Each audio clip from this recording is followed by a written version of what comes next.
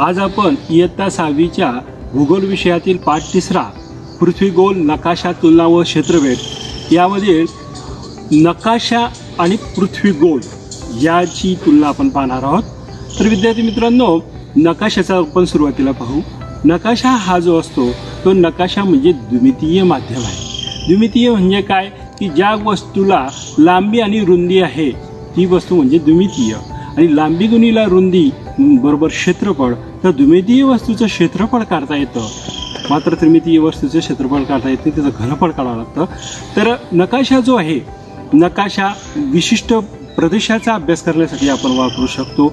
नकाशे हे वेगवेगळ्या प्रदेशाचे म्हणजे उदाहरणार्थ कोणत्या प्रदेशात एखादी विशिष्ट पीक कुठल्या कुठल्या भागात घेतलं जातं असं आपण दाखवू शकतो. त्याच पद्धतीने ह्या जिल्ह्यामध्ये को क- हा जिल्हा कोणत्या गोष्टीसाठी प्रख्यात आहे असा आपण नकाशात दाखवू शकतो. मात्र पृथ्वीगोल जो असतो आता पृथ्वीगोलाविषयी आपण पाहू. पृथ्वीगोल हा त्रिमितीय आहे. त्याला लांबी रुंदी आणि खोली असं आहे. म्हणून पृथ्वीगोल हा त्रिमितीयमध्ये येतो आणि पृथ्वीगोलाचे आपण घनफळ काढू शकतो त्याचं क्षेत्रफळ आपण काढू शकत नाही.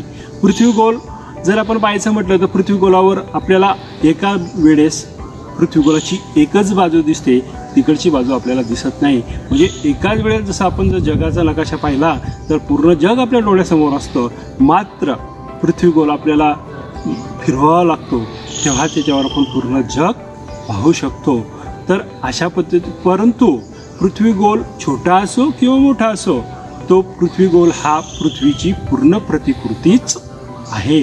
अशा पद्धतीने या मुद्द्यावरून आपण पृथ्वीगोल आणि नकाशे याची तुलना करू शकतो.